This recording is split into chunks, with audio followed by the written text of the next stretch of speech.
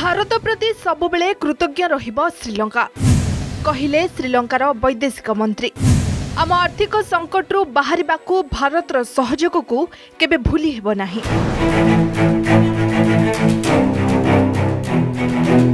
ଶ୍ରୀଲଙ୍କାର ବୈଦେଶିକ ମନ୍ତ୍ରୀ ଅଲି ସାବ୍ରେ ଭାରତ ପ୍ରତି କୃତଜ୍ଞତା ପ୍ରକାଶ କରିଛନ୍ତି।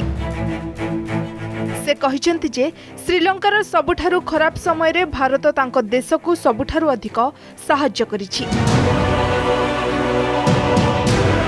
ତେଣୁ ଶ୍ରୀଲଙ୍କା ସବୁବେଳେ ଭାରତ ପ୍ରତି କୃତଜ୍ଞ ରହିବ। ନୂଆଦିଲ୍ଲୀରେ ଚାଲିଥିବା ରାଇସେନା ଡାଇଲଗ୍ସରେ ଭାଗ ନେବା ପରେ ଏକ ପୋଡକାଷ୍ଟରେ ଶ୍ରୀଲଙ୍କାର ବୈଦେଶିକ ମନ୍ତ୍ରୀ ଅଲି ସାବ୍ରେ କହିଛନ୍ତି ଯେ ସଠିକ୍ ମିତ୍ର ଏପରି ଦେଶକୁ କୁହାଯାଏ ଯେ ଖରାପ ସମୟରେ ଓ ଖରାପ ପରିସ୍ଥିତିରେ ଆପଣଙ୍କ ହାତ ଧରିଥାଏ। ଭାରତ ଶ୍ରୀଲଙ୍କାର ଖରାପ ସମୟରେ ଓ ଖରାପ ପରିସ୍ଥିତିରେ ଏହା ହିଁ କରିଛି। ଶ୍ରୀଲଙ୍କା ଗତବର୍ଷ ନିଜର ସବୁଠାରୁ ଖରାପ ପରିସ୍ଥିତି ଦେଇ ଗତି କରୁଥିଲା। ଦେଶର ଆର୍ଥିକ ସ୍ଥିତି ଖରାପ ହୋଇଯାଇଥିଲା। ଶ୍ରୀଲଙ୍କା ଦେବାଳିଆ ହୋଇଯାଇଥିଲା। ଲୋକମାନଙ୍କୁ ମୌଳିକ ଜିନିଷ ପ୍ରଦାନ କରିବାରେ ଶ୍ରୀଲଙ୍କାର ସରକାର ବିଫଳ ହୋଇଥିଲେ। ପେଟ୍ରୋଲ ଡିଜେଲ ଠାରୁ ଆରମ୍ଭ କରି କ୍ଷୀର ଓ ଅନ୍ୟ ଖାଦ୍ୟ ସାମଗ୍ରୀ ଦାମ ଏତେ ବଢ଼ିଯାଇଥିଲା ଯେ ଲୋକମାନେ ଏହାକୁ କିଣିବାରେ ଅକ୍ଷମ ହେଉଥିଲେ। ସେଠାରେ ସିଭିଲ ୱାର ଭଳି ପରିସ୍ଥିତି ଉତ୍ପନ୍ନ ହୋଇଥିଲା। ଏଭଳି ଭୟଙ୍କର ପରିସ୍ଥିତିରେ ଭାରତ ଶ୍ରୀଲଙ୍କାକୁ ସାହାଯ୍ୟ କରିବାକୁ ଆଗେଇ ଆସିଥିଲା। ଭାରତ ସରକାର ସେତେବେଳେ ଖାଦ୍ୟ ଇନ୍ଧନ ଓ ମେଡିସିନ ଆଦି ପ୍ରଦାନ କରିବା ସହ ପାଖାପାଖି ତିନି ବିଲିୟନ ଡଲାରର ଫରେନ୍ ଡିପୋଜିଟ୍ ଶ୍ରୀଲଙ୍କାକୁ ଦେଇଥିଲେ। ସାବ୍ରେ ଶ୍ରୀଲଙ୍କା ଓ ଭାରତ ମଧ୍ୟରେ ସମ୍ପର୍କକୁ ଐତିହାସିକ ବୋଲି କହିଛନ୍ତି।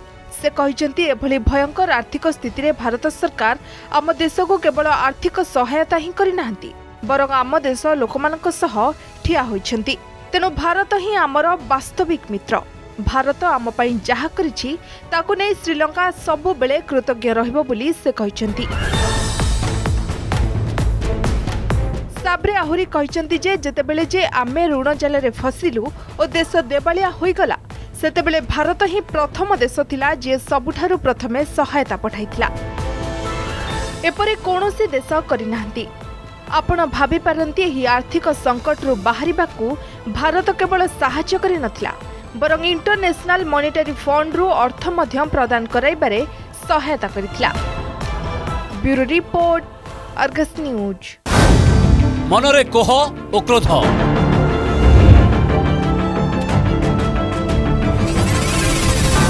କାହାକୁ ପଚାରିବେ ପ୍ରଶ୍ନ? କିଏ ଦେବ ଉତ୍ତର। ଆପଣଙ୍କ ପ୍ରଶ୍ନର ବେସାଲିସ ମଞ୍ଚ।